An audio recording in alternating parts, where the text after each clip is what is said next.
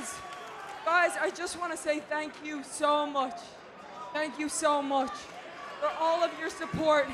Over the years, it's meant the world when I came here, and nobody thought I had a shot at anything.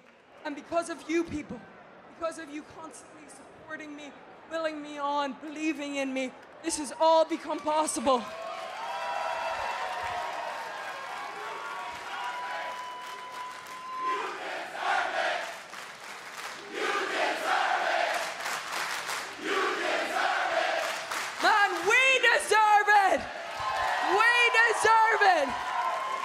And what I want to do more than anything, I don't want to just take this and go home and go to Raw.